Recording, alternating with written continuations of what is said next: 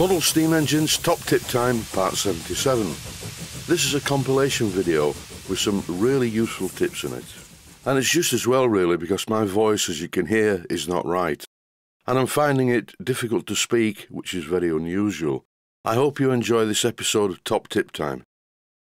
All of the bright cast iron parts on this engine have been lacquered in the past but the parts have gone rusty underneath the lacquer anyway so it's time to remove all that. The first part to be removed is the flywheel, so I need to extract the key. This key is a very tight fit and I couldn't get a screwdriver behind it, so I'm using a Stanley knife blade, and at this point I will immediately put in a health and safety warning. If you're doing a job like this, be very careful. I'm holding the blade with a pair of pliers and tapping it very gently, and I'm wearing a pair of safety glasses because if this blade shatters, you could have a major problem. But it didn't shatter because I was very delicate with the hammer. And now I can first of all get a small screwdriver blade behind the key, followed by a larger one. And by doing this, and once again being very gentle, I don't mark the flywheel and I don't mark the key. Whenever you make the small metal key that holds these parts together, it's a good idea to put a slight angle on this part of the key that I'm pointing at with the screwdriver. That way you can get a screwdriver point straight in without having to use a Stanley knife blade and now being very grateful that the flywheel hasn't been loctited to the crankshaft, I can remove it easily. The next thing to do is to just give everything a wipe over with a cloth to get rid of most of the old oil and the grime. Even though this old Stuart No. 4 steam engine looks a bit horrible, it isn't. It's really well made. It was made by a proper engineer by the looks of it. The bearing fits are almost perfect. And the flywheel is a very good fit on the crankshaft also. The only thing that I don't like about this flywheel, apart from the rust that is, is the colour of it. What I'm doing at the moment is tipping quite a lot of white spirit into a plastic container. Now please bear in mind I normally use cellulose thinners or lacquer thinner as it's called in the USA, but in this case I don't want to remove the paint. The lining on the steam engine has been hand painted, so I want to keep that. I'm using the white spirit to remove any oil and any grime and any loose flaky paint that may be on the engine. I'm only going to paint the parts of this engine that need painting.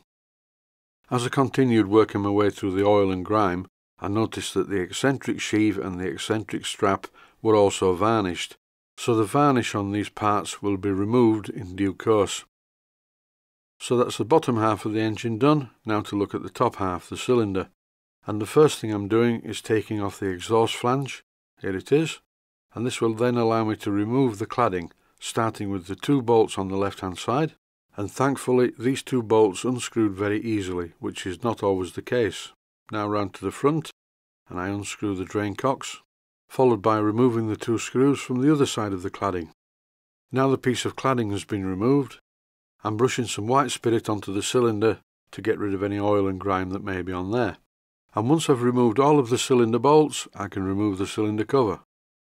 As you can see, the varnish is stuck to the bolts, but it's not very well stuck to the cylinder cover. I would think this engine looked really good when it was first made, with its nice green paint, hand lining, and varnished bright parts. But now, as you can clearly see in this clip, it's in a bit of a sorry state. But never mind, very soon it will be put back to how it was when it was new. And now I'm removing the eccentric rod from the valve fork. I'm using a craft knife and this very small hammer to just separate the steam chest from the main cylinder block. And once again, if you're hammering on high tensile blades, you must wear eye protection because if the blade shatters, the parts will fly all over the place. Once I broke the seal, it was easy to remove the steam chest and now I'm doing exactly the same with the cylinder cover. And now that is also loose. The steam cylinder top cover is rustier on the outside than it is on the inside. In this clip I'm using some white spirit to just clean up the cylinder bore so I can have a close look at it. And the cylinder bore is like glass. This engine really is very well made. As a bit of a quick test to see how easy it's going to be to remove this varnish, I'm using a piece of green Scotch-Brite dipped in white spirit. I'll put the spelling on screen just in case you can't tell what I'm saying. Scotch-Brite is a bit like a scouring pad, but a bit more tenacious. Up till now you've seen me applying the white spirit to the engine using a soft paintbrush.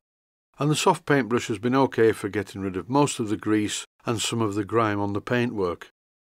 But now I need to get serious and get in the corners, particularly around the bolts, so I'm using a toothbrush for this.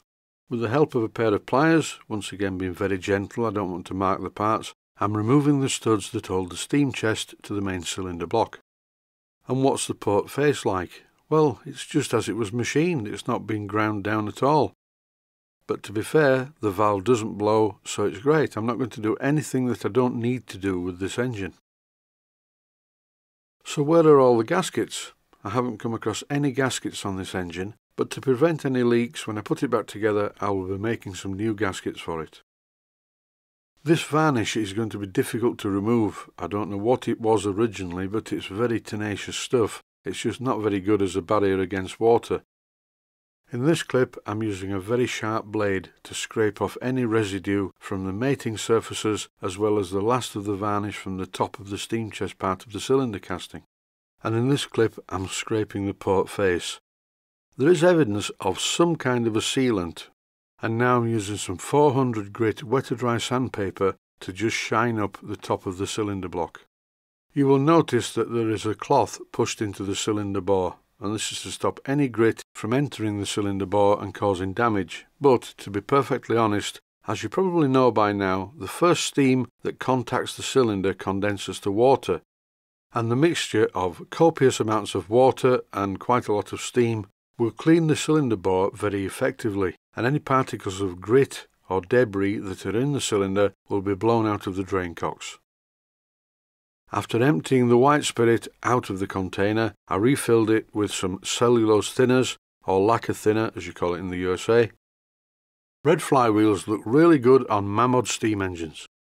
If it's on a Mamod steam engine, it needs to be red. If it's on a Stuart model steam engine, I personally do not like red flywheels. I can't do with it. It's going to be green, the same colour as the engine. My preference, some people may disagree with it, but green engine, green flywheel.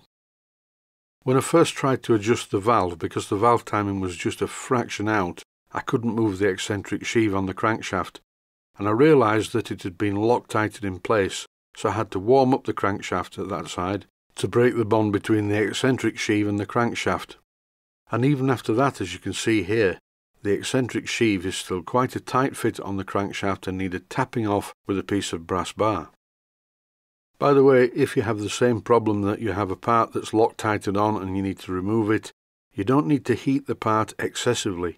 Just heat it sufficiently to release the bond. Do not try and heat the components to red heat. It's really not necessary. I would recommend a little bit of practice doing this, so get a couple of pieces of metal, Loctite them together, one needs to have a hole in it and the other needs to be a shaft, and let the Loctite cure, and then heat it with a blowtorch and see how hot you need to get the part to release the bond. And it's not as hot as you think. It's too hot to touch, so don't touch the part while you're doing it. Practice this a couple of times and you'll soon see how much heat you need to apply. I'm putting the eccentric sheave and the eccentric strap together into the cellulose thinners and hopefully in time for the next episode, all of the paint will have dissolved and I can remove it easily. Stay safe, stay healthy, thanks for watching, and I hope you found it useful.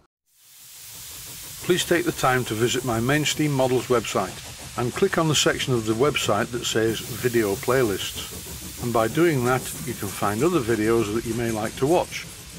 And by using the playlists, you can actually watch the videos back to back.